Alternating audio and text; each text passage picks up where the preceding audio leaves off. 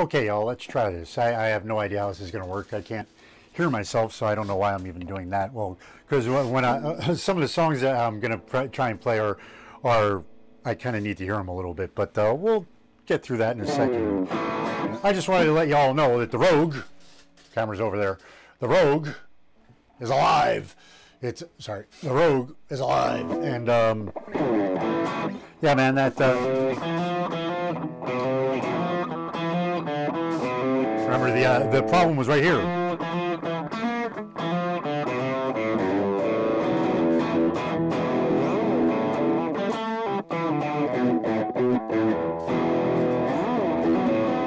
One thing that I was super surprised about this guitar after I had done the uh, fretwork and everything, because I uh, apparently hadn't even touched it. When I started doing work, I was like, oh, snap! I never even touched damn thing. So um, yeah, I'm actually surprised the strings are still. I saved the strings because I'm cheap for one. They, they weren't that bad, so um, uh, they, they could definitely use a refresh. But um, they sound okay for, for what it is right now. And uh, what it is right now, the thing that I was surprised most about is that this thing is like an 80s cheese machine, man. It like it, it that's what it wants to play. It's like the I seriously when I sat down and I and I just started with stuff, I was like.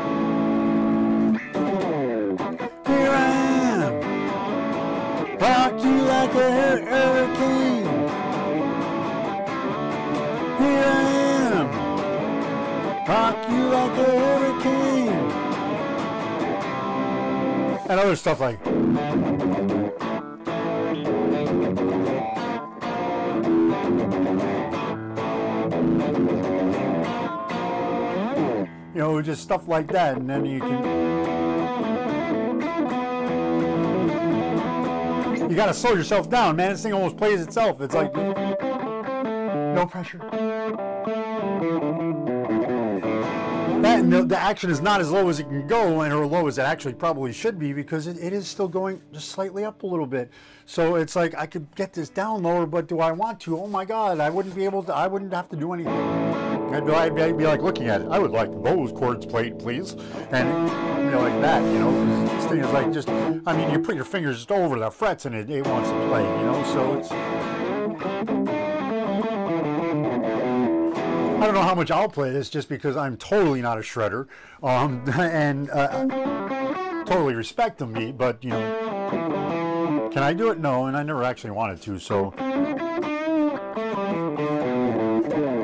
I, I'm the guy who thinks Yngwie Malmsteen needs to slow the F down because dude just by, and I think he's slowed down. And it, when he was younger, man, that's all I thought he ever wanted to do was just Yngwie Malmsteen fast, fast, fast, fast, fast. I want to see how many notes I can fit into the song.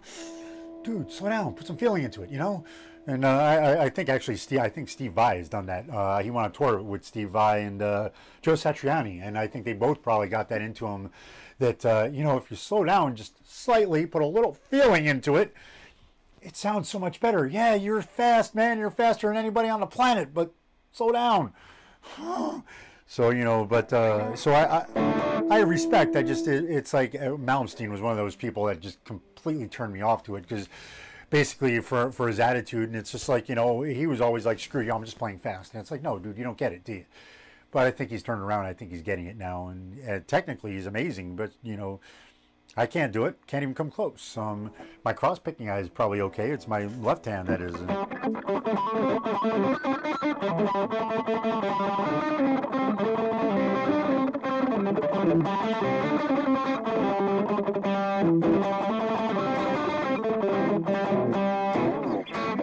I, am still learning, you know, and uh, maybe one day I'll get faster at it, and maybe one day I'll learn how to how to shred. But when I think personally, I need to learn how to start soloing first. So you know, um, master one thing first. I ain't got the chord part down yet, so um, I'm working on it. But uh, hopefully, y'all enjoyed the the Rogue coming back it was uh, it was fun to do, uh, and uh, yeah, man, this is one of those ones that uh, I actually probably would like to sell, and if I can remember how much I paid for it, that'd be cool.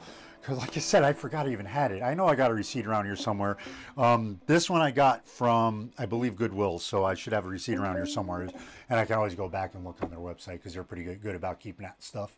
Um, but yeah, man, this is a killer guitar. It was fun to fun to fix up, and these these are the things that I'm looking for because you know, this was definitely a diamond in the rough. It was just, it just needed a little love. That was it. And uh, it's back to, well, it's a little bit much for me, but, um, you know, it, it, somebody will have.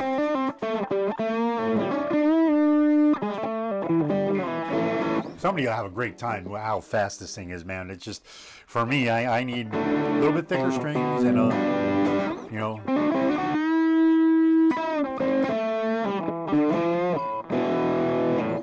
because uh, I my with the way I play anyway, you know, I you probably heard some of the chords on this one. I think the strings are just too thin, and uh, I when I play chords sometimes my I, I, press too hard. I really do. That's why I'm having such a, a, problem with this one is because you don't have to even touch it at all, and I press too hard. Uh, and I've been doing it my whole life. I've calmed down a lot, so um, must show you how much I used to go just, you know. Um, but it's it's super nice being able to play things without having to do that.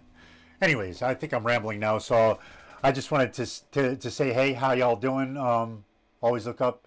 I think it's Sunday. Is it Sunday? There's football on TV. The Ravens, huh? The Ravens are beating the Giants. Wow, hey, I like that. Anyways, always look up. Sunday, he's there for you. I'll see you then. Peace.